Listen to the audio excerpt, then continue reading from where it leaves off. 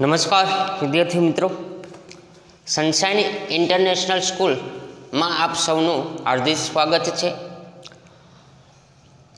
આજે આપણે ધોરણ દસ વિશેષ સંસ્કૃતની અંદર પદ્ય તેર ગીતા મૃતમનો અભ્યાસ કરીશું.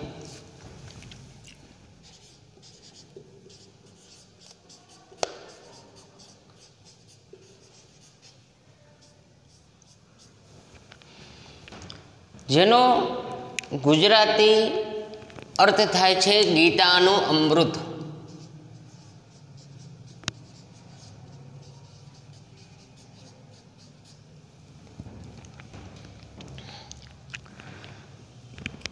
આપ સર્વે જાણો છો કે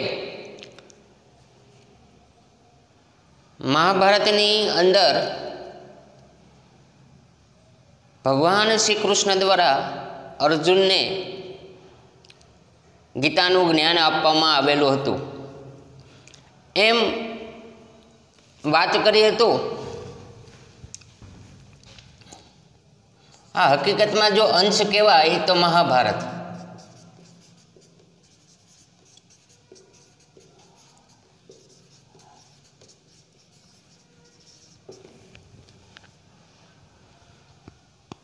પણ એ મહાભારતની અંદર પણ આપ સર્વે જાણો છો કે મહાભારત કુલ અઢાર પર્વમાં રચાયેલું છે.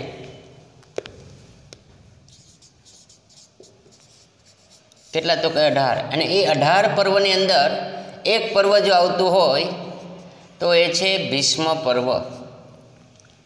અને એ ભીષ્મ પર્વની અંદર ભગવાન શ્રી કૃષ્ણ દ્વારા અર્જુનને શ્રીમદ ભગવત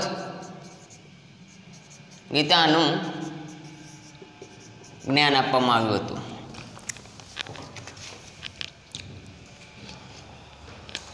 તો એની અંદર વાત કરીએ તો જ્યારે મહાભારતની અંદર સામ સામે ભાઈઓ યુદ્ધની અંદર હોય છે ત્યારે અર્જુનને એમ થાય છે કે આ બધાનો વધ કરીને મને શું પ્રાપ્ત થશે થશે? ત્યારે ભગવાન શ્રી કૃષ્ણ અર્જુનને ગીતાનું જ્ઞાન આપે છે ને ગીતાની અંદર જ્ઞાન આપતા એમને એક ઉપદેશ આપ્યો છે કે આપણે અહીંયા માત્ર શરીરરૂપી માણસનો જ નાશ કરવાનો છે. અંદર રહેલો આત્મા ક્યારેય નાશ પામતો નથી. તો આપણે એ શ્લોકોનું ગુજરાતીમાં અનુવાદ કરશું, એને સમજશું. તેરમું કાવ્ય ગીતા મૃતમ જે આપણે ખાસ સંસ્કૃતમાં પૂછવામાં આવતા અર્થ વિસ્તાર માટે ધ્યાને લેશું. તો એના પ્રસ્તાવનાની વાત કરીએ તો અર્જુનના સારથી તરીકે જ્યારે ભગવાન શ્રી કૃષ્ણ ગીતાનું જ્ઞાન આપે છે, ત્યારે એને પહેલો શ્લોક એવો સમજાવે છે, ન જાયતે મ્રિયેતે વા કદાચિત ન અયમ ભૂતવા ભવિત વા ન ભૂય અજો નિત્ય શાશ્વત અયમ, પુરાણો ન હન્યતે હન્યમાને શરીરે. આ એનું શ્લોક છે. હવે એ શ્લોકનો આપણે અવ્યય કરીએ તો, ન જાયતે મ્રિયેતે વા કદાચિત. તો ન જાયતે મ્રિયેતે વા કદાચિત એટલે કોણ? તો એનો પહેલો શ્લોક છે. તો કોણ? તો એમાં આપણે અવ્યય તરીકે આવો એક શબ્દ મૂકવો પડે. અયમ આત્મા. એટલે એનું ગુજરાતી થાય આ આત્મા. કદાચિત ક્યારેય એને આપણા શબ્દાર્થ એવી રીતે લેવાય છે, અયમ આત્મા કદાચિત ક્યારેય ન જાય તે. જાય તે એટલે જન્મતો નથી. જાય તે ન. જન્મતો નથી. પછી શબ્દ છે મ્રિયે તે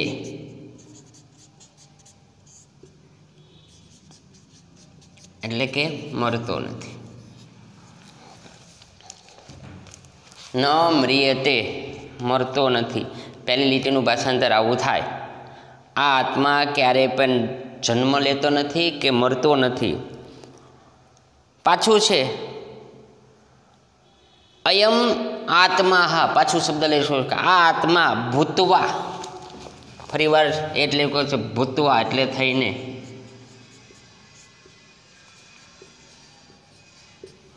અયમ આત્મા, આ આત્મા થઈને ભવિતા વા ન ભૂય. ન ભૂય. ફરી થવાનો પણ નથી. એવું એનું ભાષાંતર છે. અથવા ફરી થશે પણ નહીં. તો બે બીજી લીટીનું ભાષાંતર એવું થાય. અયમ આત્મા ભૂતવા. આ આત્મા થઈને ભવિતાના ભૂય ફરી થવાનો તેવું પણ નથી. અથવા ફરી થશે તેવું પણ નથી. બધાને ખબર છે. આત્માએ એકવાર જન્મ લીધો છે, ક્યારેય મરતો નથી, કારણ કે નાશવંત છે. શરીર, દેહરૂપી શરીર નાશ પામે છે ને જ્યારે આ દેહરૂપી શરીર નાશ પામે છે, ત્યારે આત્મા કોઈ બીજા શરીરની અંદર એને ત્યાં જીવ તરીકે ધારણ કરે છે, ત્યાંથી બીજા જીવની અંદર. એવું બધું આવું પુરાણ, આપણે અઢાર પુરાણોની અંદર આવું વાત કરેલી છે. પછી શબ્દ છે અયમ શાશ્વત પુરાણો પાછું અયમનો શબ્દ છે, અયમ એટલે આ. શાશ્વત એટલે સનાતન.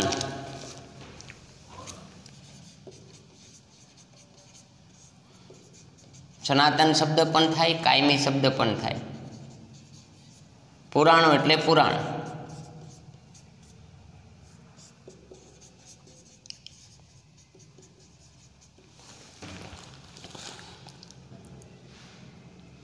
તો શું કહે છે? અયમ શાશ્વતો પુરાણો હો આ આત્મા શાશ્વત પુરાણોમાં નિત્ય અજ્યો અજોહો. નિત્ય એટલે હંમેશા. અથવા સદા. અજોહો. અજન્મા. અને એવું પણ લખ્યું છે, અજન્મા. આવું પણ લખી શકે, જન્મ ન લેનારો. ન હન્યતે હે, હન્યમાને શરીરે હે. હન્ય એટલે હણાઈ જવું.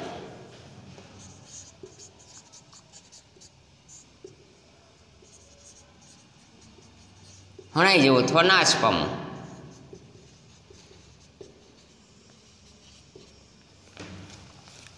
શું શબ્દ છે? શરીરે. એટલે શરીર. હન્ય માને હે. દેહ હણાઈ જતા હણાતો નથી, એવું ભાષાંતર થાય. અન્ય માણે એટલે હણાતો નથી.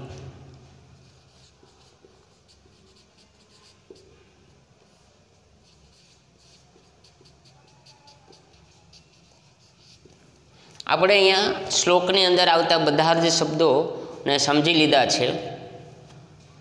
આ આત્મા ક્યારેય પણ જન્મ લેતો નથી, મરતો મરતો નથી, આ આત્મા થઈને ફરી થવાનો તેવું પણ નથી. આ આત્મા સનાતન પુરાણોમાં હંમેશા જન્મ ન લેનારો શરીર હણાઈ જતા હણાતો નથી. એનું ભાષાંતર એવી રીતે થાય છે. હું એનું ભાષાંતર તમારી સામે બોલું છું. આ આત્મા ક્યારેય પણ જન્મ લેતો નથી. આ આત્મા થઈને ફરી થશે તેવું પણ નથી. આ આત્મા સનાતન પુરાણોમાં કાયમી જન્મ ન લેનારો શરીર હણાઈ જતા હણાતો નથી, હણાતો એટલે મરતો નથી. આ આત્મા શરીરને નાશ પામતા એ ક્યારેય નાશ પામતો નથી. ન હન્યતે હન્યમાને શરીરે. એનું ભાષાંતર એવું થાય છે. આપણે એનું અનુવાદ જોઈએ.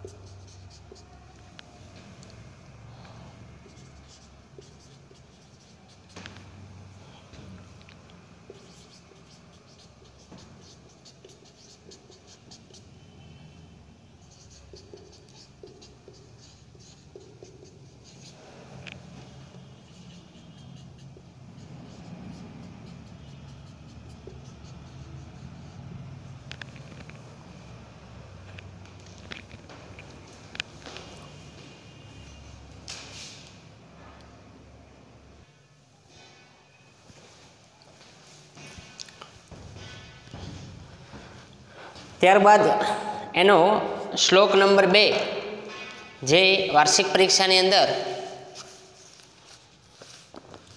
આપણે શ્લોક પૂર્તિની અંદર આઈએમપીમાં છે. જાતસ્ય ધ્રુવો મૃત્યુ, ધ્રુવ જન્મ મૃત્યુષ્ય ચ, તસ્માદ અપરિયાળ અર્થે શોચિતુમ અહર્ષિ.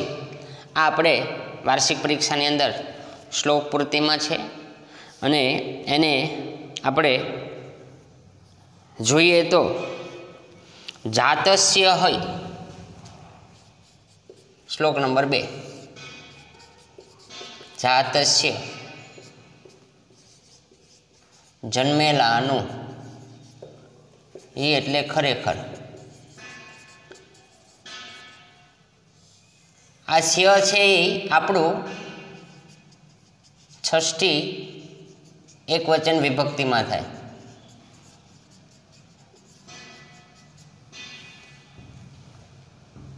જે શબ્દની પાછળ સ્ય લાગતો હોય છષ્ટી એક વચન કહેવાય છે.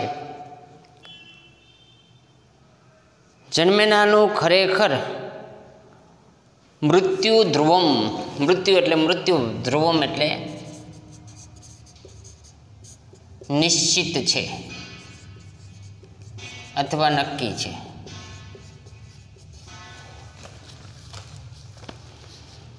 તો જન્મેલાનું ખરેખર મૃત્યુ નિશ્ચિત મૃત્યુષ્ય જન્મ ધ્રુવ તો જો જન્મેલાનું મૃત્યુ નક્કી હોય તો મૃત્યુ પામવાનો પામેલો હોય વ્યક્તિનું પણ જન્મ પણ નક્કી જ હોય છે. એટલે મૃત્યુ પામેલાનો. મૃતસ્ય.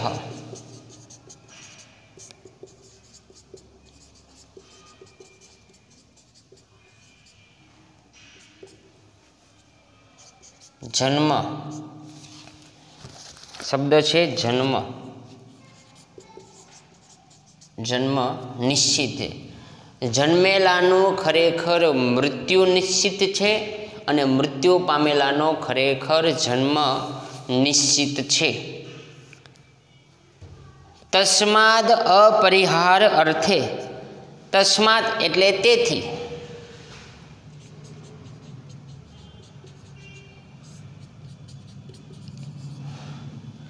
ત્યાં સંધિ છૂટી પડે છે. આ રીતનું છે. તસ્માદ પરી હારીએ અર્થે તો એની સંધિ આવરી થોડી છૂટી પડે. તસ્માત પ્લસ અપરી હારીએ પ્લસ અર્થે તસ્માદ અપરિહાર અર્થે એની સંધિ એ રીતે છૂટી પડે છે. હવે દ હોય એને હંમેશા સંધિ છૂટી પડતી વખતે તસ્માદ થઈ જાય. તસ્માત અપરિહાર અર્થે. તેથી અપરિહાર અર્થે એનું ગુજરાતી એવું થાય છે, ટાળી ન શકાય તેવી બાબતમાં.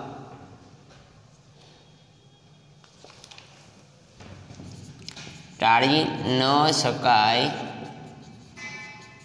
તેવી બાબતમાં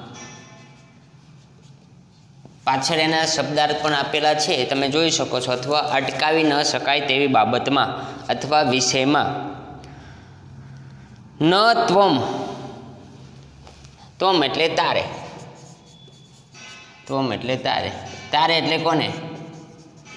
અર્જુન. શોચિતુમ અહર્ષિ શોચિતુમ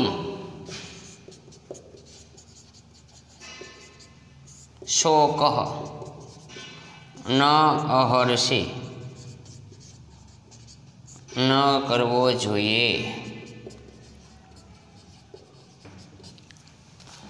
શું કીધું જાતસ્ય ધ્રુવ મૃત્યુ ધ્રુવમ જન્મ મૃત્યુષ્ય ચ તસ્માદ અપરિહાર અર્થે ન તમ શોચિતુમ અહર્ષિ. જન્મેલાનું ખરેખર મૃત્યુ નિશ્ચિત છે અને મૃત્યુ પામેલાનો જન્મ નિશ્ચિત છે. તેથી ટાળી ન શકાય તેવી બાબતમાં, હે અર્જુન, તારે શોક ન કરવો જોઈએ. શોક એટલે દુઃખ લગાડવું જોઈએ નહીં. તેનો અનુવાદ આપણે જોઈએ.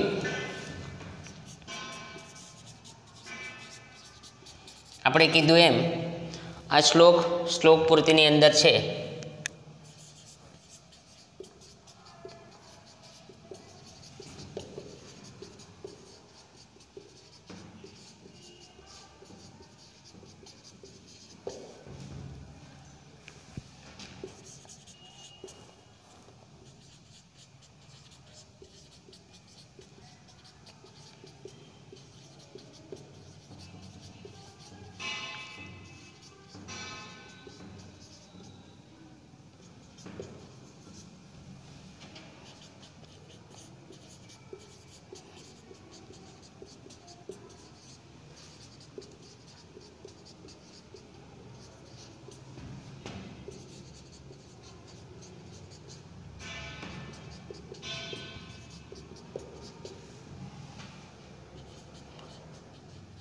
તમે મારી સાથે સાથે ભાષાંતર લખી શકો છો. જન્મેનાનો ખરેખર મૃત્યુ નિશ્ચિત છે અને મૃત્યુ પામેલાનો ખરેખર જન્મ નક્કી છે. તેથી ટાળી ન શકાય તેવી બાબતમાં, હે અર્જુન, તારે શોક કરવો જોઈએ નહીં. ત્યારબાદ એનો શ્લોક નંબર ત્રણ. કર્મણેવાધિકારસ્થે મા ફલેશુ કદાચનમ મા કર્મ ફલશે સ, મા તે સંગતો કર્મણી. શ્લોક નંબર ત્રણ.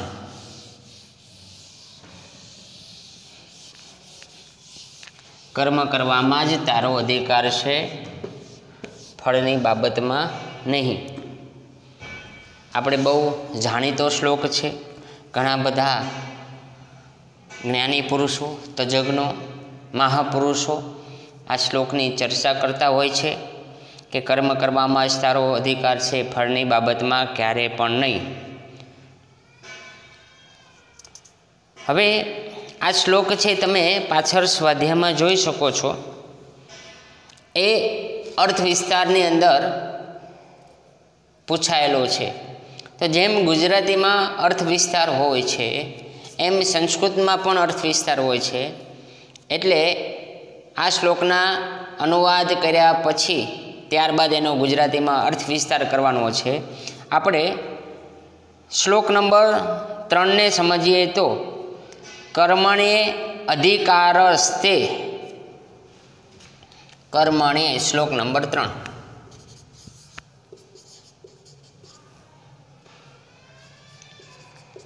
કર્મણે એટલે કે કર્મ કરવામાં. અધિકારસ્તે કારસ્તે કર્મ કરવામાં જ તારો અધિકાર છે. તો શું કે છે? કર્મણીએ વા, એટલે કર્મ કરવામાં જ અધિકારસ્તે તારો અધિકાર છે. માં ફલેશુ તો ફલેશો એટલે ફળની બાબતમાં. ફલેશો. બાબતમાં. કદાચિત. ક્યારે પણ નહીં.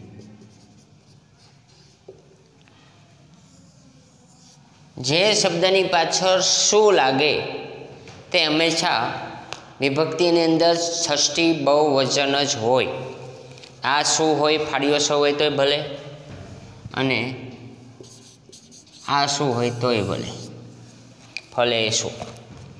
કર્મ કરવામાં જ તારો અધિકાર છે. ફળની બાબતમાં કદાચ અનહ ક્યારે પણ નહીં. માં કર્મ ફલ હેતુર્ત તો માં એટલે કે તું, કર્મ એટલે કર્મના ફલ એટલે ફળની, હેતુર્થ. ઈચ્છાવાળો થાય છે નહીં. હેતુર્ભુઃ ઈચ્છાવાળો.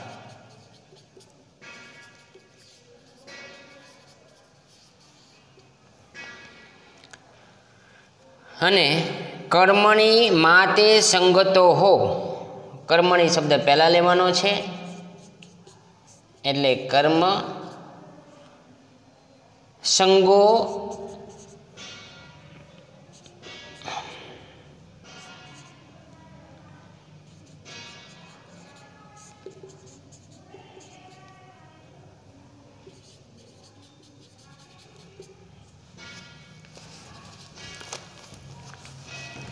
હવે અહીં આપણે અહીંયા જેટલા શબ્દાર્થ આવતા હતા, એટલા લખ્યા છે.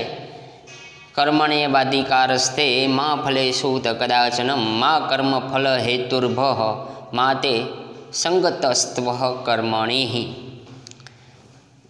કર્મ કરવામાં જ તારો અધિકાર છે, ફળની બાબતમાં ક્યારેય પણ નહીં. મા કર્મ ફલ હેતુત એટલે માં એટલે કે તું, કર્મ એટલે કર્મના ફલ એટલે ફળની હેતુર્પ એટલે શું કહે છે? તું કર્મના, ફળની ઈચ્છાવાળો થઈશ નહીં. શું કહે છે? તું કર્મના, ફળની ઈચ્છાવાળો થઈશ નહીં. કર્મની માતે સંગતસ્ત્વ. કર્મ કરવામાં તારો સંગ ન થાવો શું કહે છે? કર્મના ફળની ઈચ્છાવાળો થઈશ નહીં અને કર્મ ન કરવામાં તારો સંગ ન થાવો આપણો એનું અનુવાદ જોઈએ.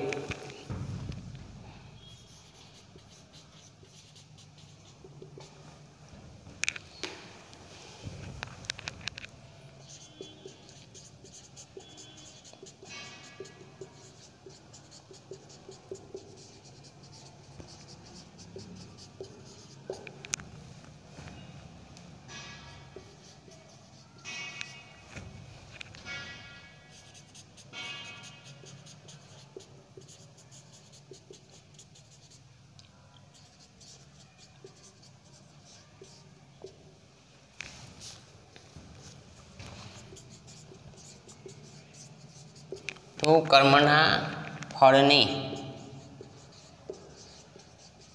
ઈચ્છાવાળો થઈશ નહીં. કર્મ ન કરવામાં તારો સંગ ન થાવો. શું કે છે? કર્મ ન કરવામાં તારો સંગ ન થાઓ. અહીંયા એવું કહે છે કે આપણે માત્ર કર્મ જ કરતા જતું, કરવાનું હોય છે. ફળની ઈચ્છા રાખવાની હોતી નથી, પણ એવું પણ નથી. દાખલા તરીકે કોઈ ઓફિસર કર્મ કરે પહેલી તારીખથી લઈને ત્રીસમી તારીખે.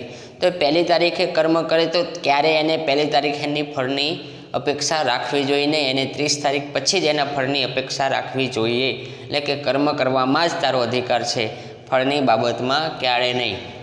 કર્મ કરવામાં જ તારો અધિકાર છે, ફળની બાબતમાં ક્યારે પણ નહીં. તું કર્મના ફળની ઈચ્છાવાળો થઈશ નહીં. કર્મ ન કરવામાં તારો સંગ ન થાવ. એટલે કર્મ, આપણે એવું માની લેવું કર્મ કરવું જ નથી, કામ કરવું જ નથી. ના, કર્મ કરવું જ જોઈએ. તો આજે આપણે ગીતામૃતમની અંદર ત્રણ શ્લોકનો અભ્યાસ કર્યો. અને એ અભ્યાસ ઉપરથી આપણને પહેલા શ્લોકની અંદર આપણે આત્મા ક્યારે જન્મતો નથી, મરતો નથી તેની ચર્ચા કરી.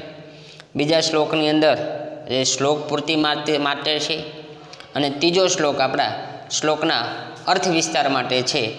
આપણે આના પાઠ ટુની અંદર મળીશું. ખૂબ ખૂબ આભાર. ધન્યવાદ.